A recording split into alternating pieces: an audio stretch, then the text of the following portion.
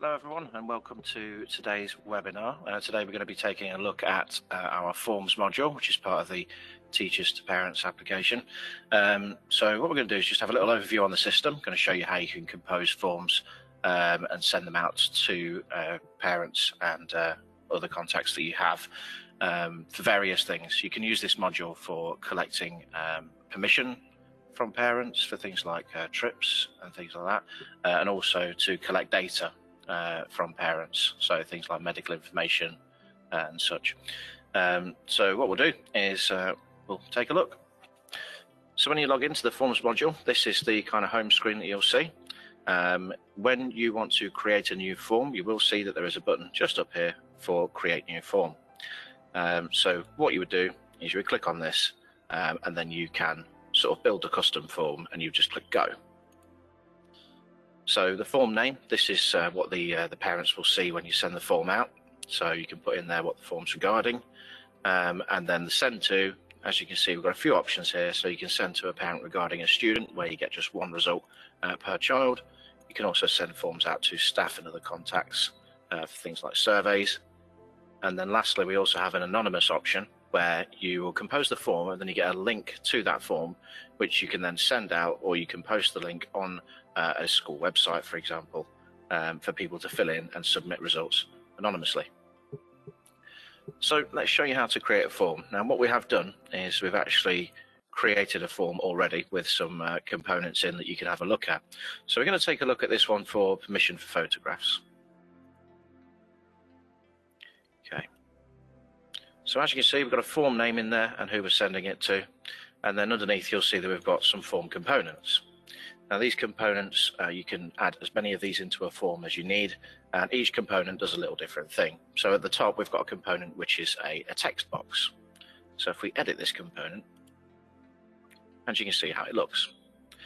So the idea of the text box is you can use this to just post some general information about the form, kind of like an intro. And as you can see, we've got some information about this form for uh, photograph permission. In this text, you'll see that we've got uh, what we call tokens. Uh, we've got one for student forename and student surname. Now, what these tokens do is when the form gets sent out to the parents, the tokens will be replaced by the name of the child. And we have various other tokens in here for student tokens. So you can put like the reg and the year group in there and things like that.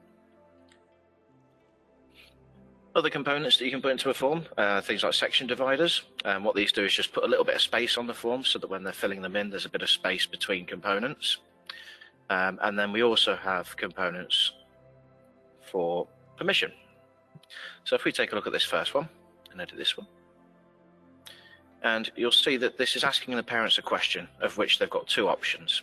So the question is about giving permission for the child's photograph to be used, uh, and the answers are simply yes or no. Now, this, when you compose this component, you can choose whether you want only one option to be selected or whether you want the parents to be able to select multiple options. Okay. Other components include this one at the bottom, this signature one. Now, this one is quite useful because what this does is this puts uh, an electronic uh, signature box which the parents can sign either by using their computer mouse or if they're on like a tablet, for example, they can use their finger and click and drag to sign in that box. You can also, with components, make them a required input, which means that when the parent is filling the form in, they must fill in that component. Otherwise, they won't be able to submit the form. So quite useful for signatures, for example.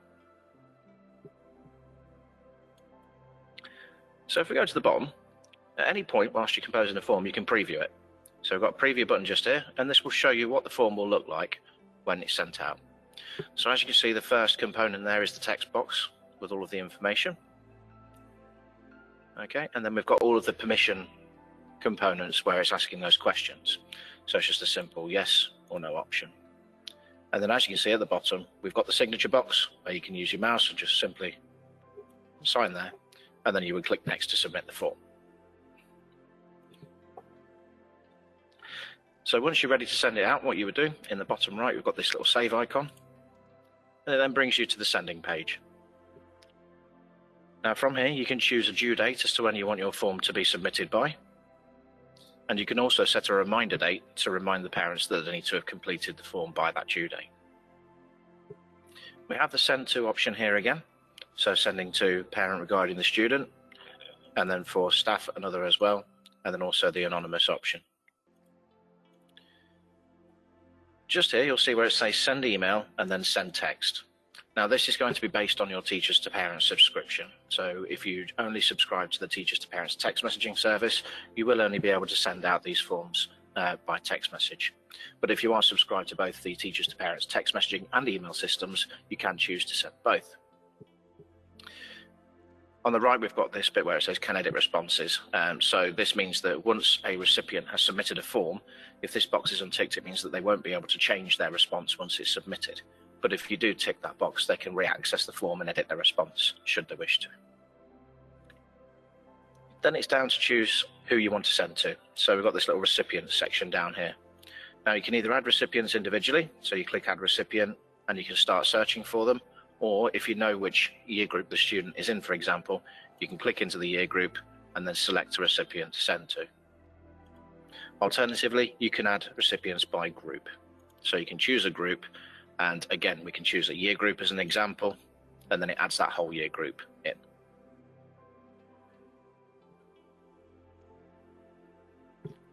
So once you're ready to send it, in the bottom right, you've got two options. You can send the form now, or if you click the little arrow next to it, you can choose to send the form later. And then the system will ask you when you want to send that form out. So you just give it a date and a time, submit that, and then the form will be sent out on your behalf.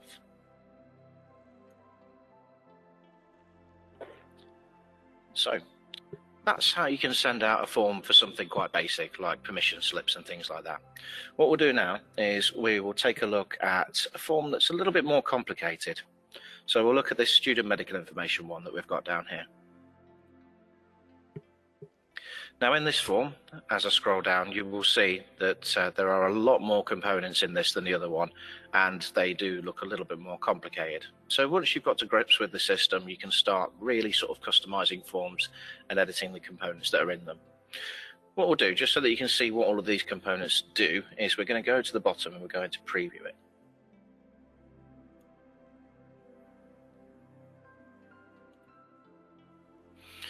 Okay, so with this medical form that we've got, we've got prompts for text. So there's a prompt for text at the top um, for the GP details. And you're going to see that this is a required input.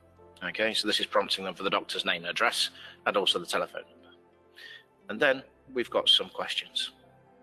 So these ones are going to be simple yes or no options, so you can only select one response. But then we've got other questions where they can select multiple answers. So, for example, does the child suffer from any of the following? You can obviously select multiple responses.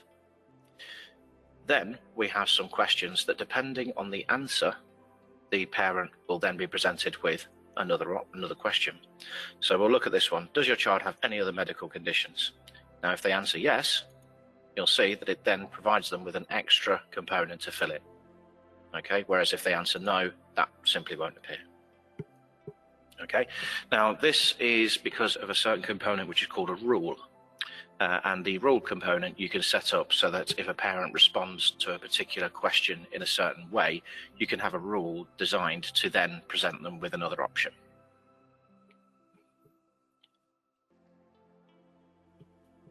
Okay. So as we go down, you'll see even more required fields for contact information. And then at the very bottom, Again, the signature box is there. So that's a bit more of a complicated form than the first one that we looked at. So what we'll do next is uh, we'll take a look at the results. So obviously once a form has been sent out and all of the results have come back in, you can view those results at any point. So what we've done is we have sent out a form already for the permission for photographs that we looked at earlier on. And as you can see with this bottom form here, we've got some responses.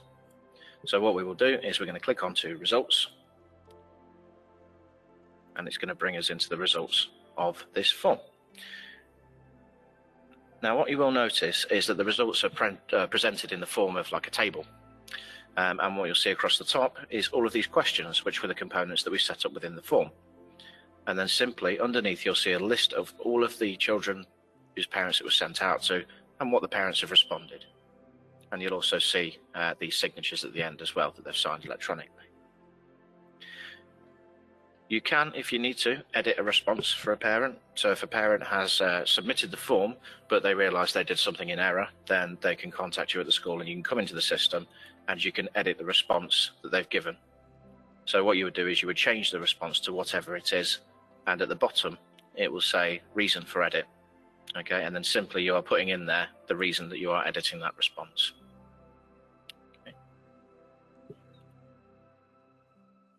What you can do with the uh, results as well is you can download them. So you can download the results as like an Excel spreadsheet so that you can save them or sell, print them off and send them elsewhere. You can also print the responses from here as well.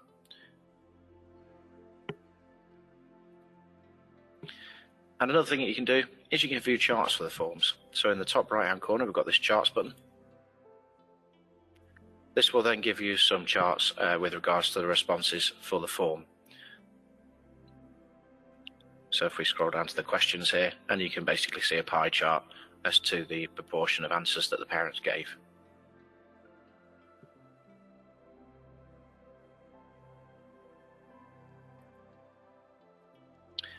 So that's how to view the results. And we've also been through how to compose a form. Now what we can do is I can show you how to set up a template for a form. So we've got this forms templates icon just here. When we click on this, you will see a bunch of uh, templates that have already been created within the system. Uh, but what you can do is you can add a new template by clicking on this button here. And then you will just give the, te the template a name and a description for that template as well, and then submit it. What we'll do is we'll take a look at uh, one of the templates that we've already uh, created. So we're going to take a look at the staff return to work form. So if we edit that. And as you can see, all that this is, is that it's a form that has already been designed with the appropriate components in there. So rather than having to compose a form from scratch every single time and put all of the components in there over and over again, you can have this template saved and then simply fill it in and send it out quickly. So all you would do is you would look at this template, see the components that are in there, and at the bottom, what you do is you click on save and then you'll have the option to create a form with this template. And the name of the form, so we'll just do Mr. Smith. Return to work, and then create form. Okay, so we've now created that form. We can choose to send the form straight away because we've already looked at the components, and then it's just a case of adding a recipient and then sending the form in the same way that we showed you. Okay. So that is pretty much everything that we need to look at in terms of a tour of the system. Uh, another couple of features that are quite quite handy in the Forms module and quite nice to be able to utilize uh, is setting the school logo. So you can upload your school logo into the system so that when the forms are sent out, the logo will appear on there. Just adds a little bit of a uh, sort of personalization to the system for you. And also you can customize a theme for your form as well. So if we click onto form themes just here, and you can set a theme up and you can also add your own themes so that they appear in the background of the form.